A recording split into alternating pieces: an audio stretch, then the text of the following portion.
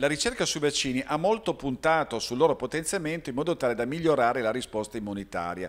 Questo l'abbiamo visto di recente con i vaccini proteici adiuvati per il Covid. Abbiamo cercato di capire meglio come funziona l'adiuvante, quali caratteristiche deve avere per essere realmente efficace, parlando con la professoressa Azzari che abbiamo incontrato qui a Cernobio nel corso della conferenza nazionale straordinaria di sanità pubblica della City.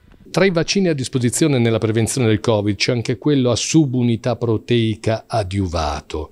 Che cos'è l'adiuvante e qual è la sua funzione?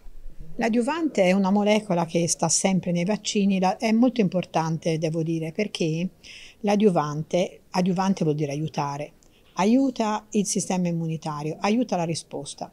L'adiuvante deve fare un pochino di infiammazione, perché senza un pochino di infiammazione la risposta immunitaria non parte.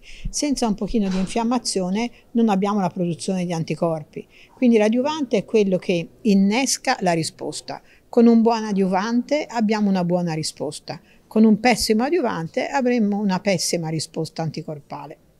Tra gli adiuvanti c'è il Matrix M. Ci dia qualche informazione in più e qualche dato di esperienza real world. Um, il Matrix M è un adiuvante che viene fatto da delle proteine che derivano dalla corteccia di un albero, si chiamano saponine.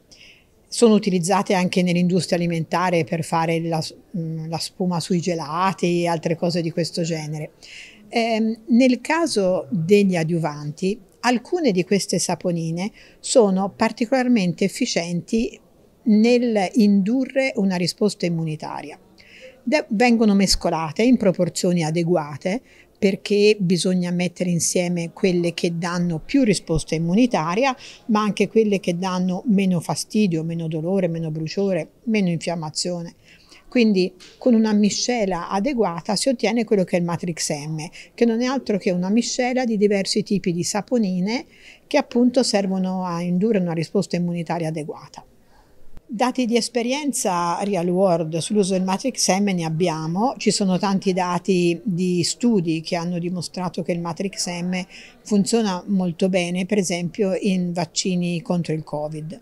Quello che si è visto è che con l'aggiunta di questa adiuvante il vaccino induce un titolo anticorpale elevato che dà la probabilità di essere protetti contro il Covid anche fino al 90% dopo le prime due dosi, ma soprattutto dà una caduta nel tempo di anticorpi molto lenta, per cui ancora dopo 6-12 mesi abbiamo dei titoli anticorpali soddisfacenti.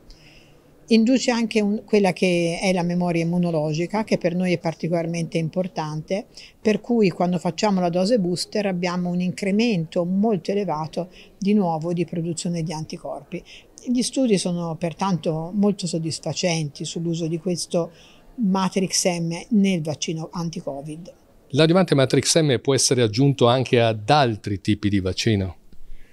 Eh, quello che è stato fatto eh, fino adesso, i dati real world, ci dicono che per quello che riguarda il vaccino del Covid ha funzionato benissimo, induce una risposta con alti titoli che dura tanti mesi, quindi ha funzionato bene. Però si può usare per tutti i vaccini, si può inserire in altri vaccini proteici costruiti con la stessa piattaforma, penso per esempio al vaccino dell'influenza, a dei vaccini combinati Covid più influenza, ma vaccini per la malaria si può utilizzare in tutti i vaccini proteici che vogliamo.